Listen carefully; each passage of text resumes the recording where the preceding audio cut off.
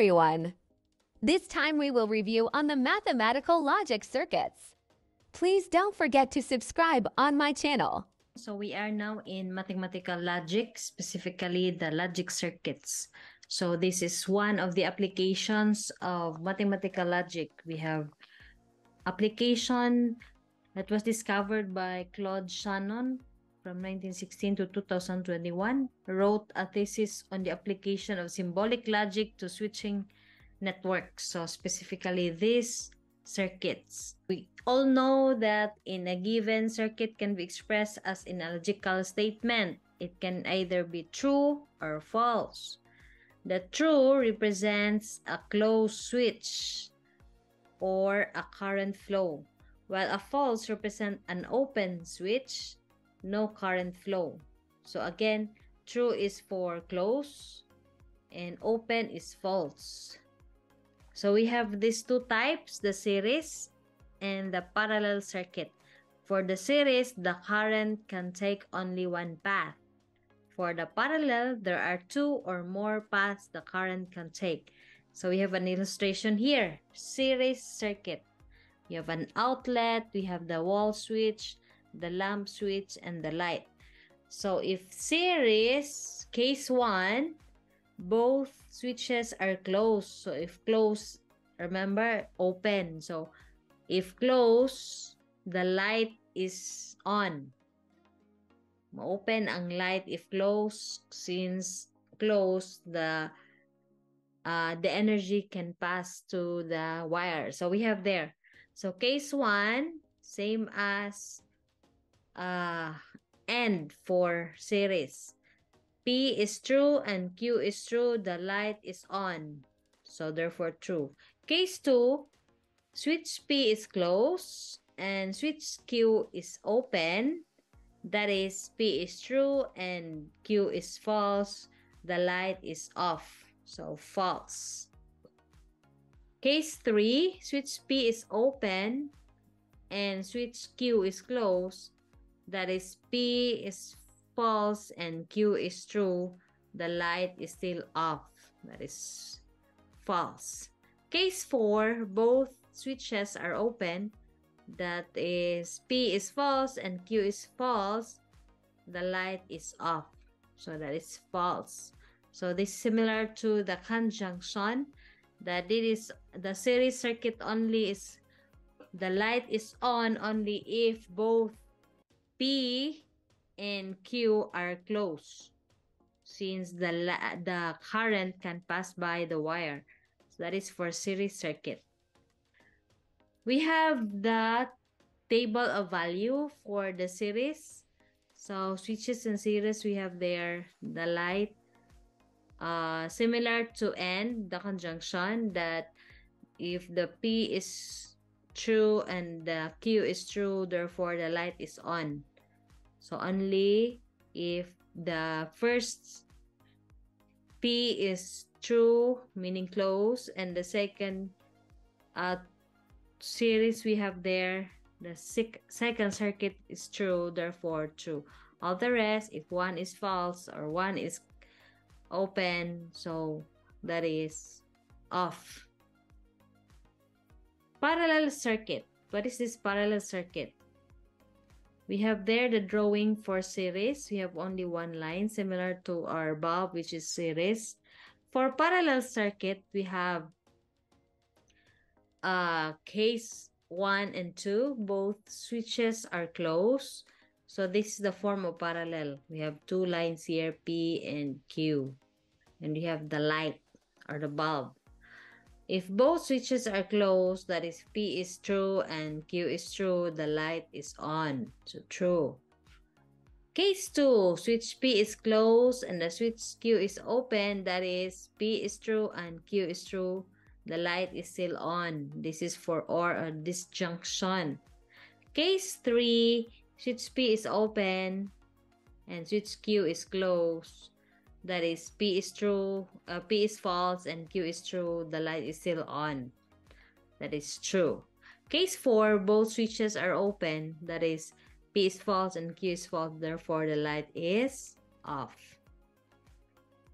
Okay, so we have the table we have the truth table for the parallel circuit so this is the drawing we have parallel pq so switches in parallel will always be represented with a disjunction or.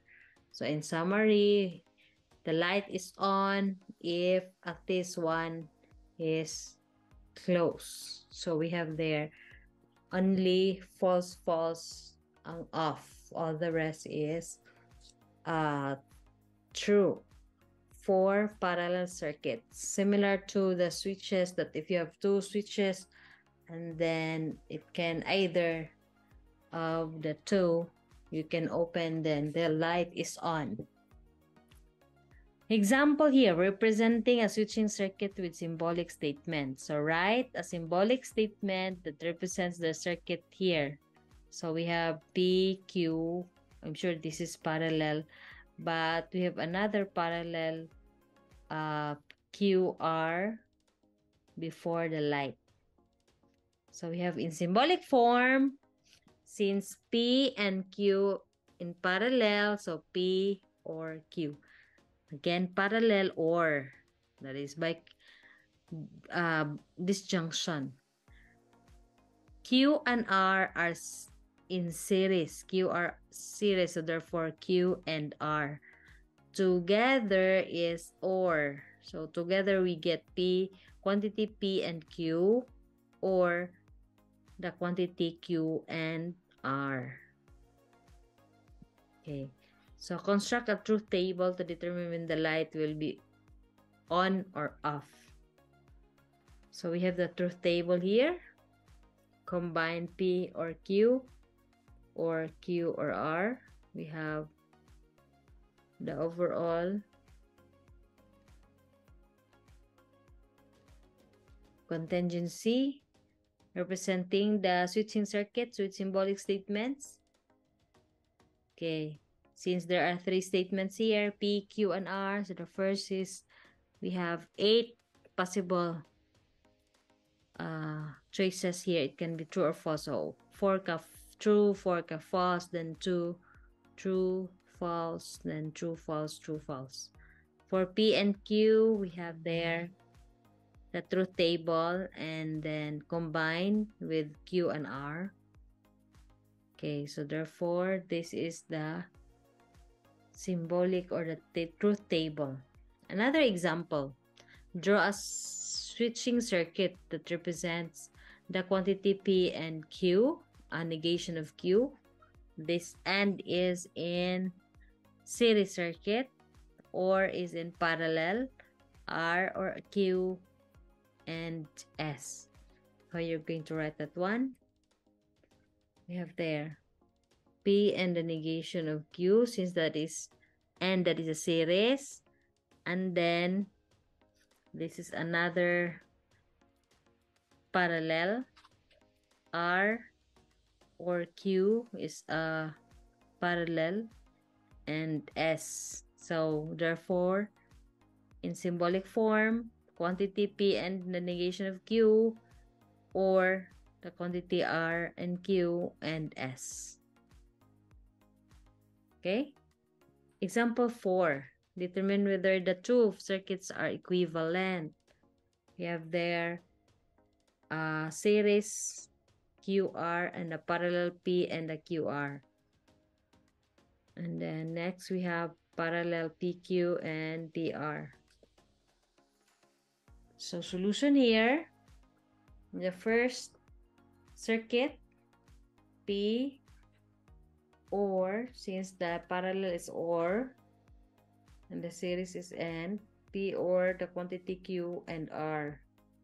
Another illustration is P and P or Q P or Q and P or R. P or R. So we have there the truth table. Combine if the two are equivalent. Since there are same truth table for the first given and the second logical statement. So since the two columns are identical, so meaning they are equivalent.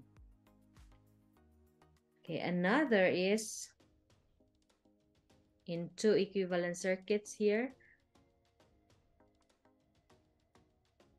P or Q and R is equivalent to P or Q and P or R. That is using distributive property and the two circuits are equivalent. Okay, that's all for this evening. Thank you for watching. Please don't forget to subscribe and watch my other math tutorials.